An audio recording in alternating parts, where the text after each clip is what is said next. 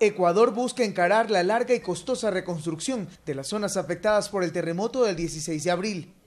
Por ello, una de las medidas económicas que adoptó el gobierno es aumentar dos puntos el IVA, del 12 al 14% durante un año. En las calles, los ciudadanos se muestran solidarios con las víctimas del sismo. La subida de impuesto al 14% es algo que, o sea, nos afecta, pero nos toca porque nos toca ayudar. Tenemos que ayudar a la gente que realmente lo necesita.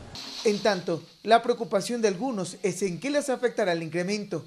Sin embargo, está claro que en la actualidad el 100% de los medicamentos y el 90% de los alimentos no pagan IVA. Es decir, si usted va a una tienda o supermercado y adquiere solamente alimentos tales como carnes, legumbres, verduras y frutas en estado natural y no empacadas, su factura no pagará IVA. Mientras que los alimentos que sí pagan tributos son los procesados. A eso se suman otros insumos como ropa, electrodomésticos, automóviles y servicios.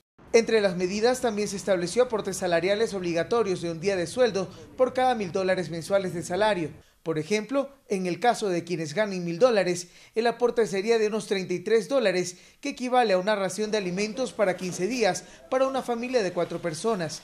Aunque no todos vamos a estar de acuerdo, tenemos pensamientos, diferencias, pero si esa es la disposición, pues en buena hora por el resto, por los hermanos damnificados, que esto es para largo, no es para un mes, dos, un año, es para largo. Solo Dios sabe qué tiempo durará esto. En un año las medidas pretenden recaudar 750 millones de dólares para las zonas afectadas por el terremoto. Ubelonofre Gama Noticias.